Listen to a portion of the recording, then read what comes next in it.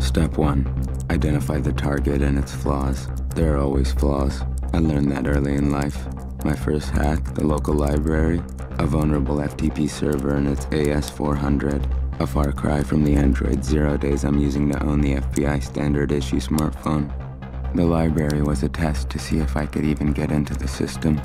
I've since set greater goals. For instance, step 2 build malware and prepare an attack.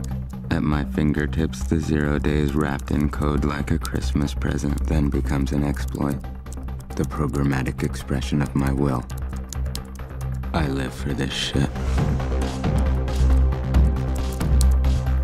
Step 3. A reverse shell two-stage exploit. The ideal package.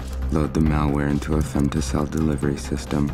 My personal cell tower that'll intercept all mobile data Similar to my first time when I found myself staring at late book fees, employee names, member addresses. Step 4.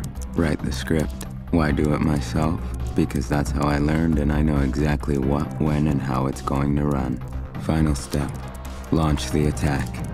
Once I do, I'll own the Android phone of every FBI agent in that building. I'll own Evil Corp's network, applications, everything. Domain admin. This the thrill of pwning a system. This is the greatest rush. God access. The feeling never gets old.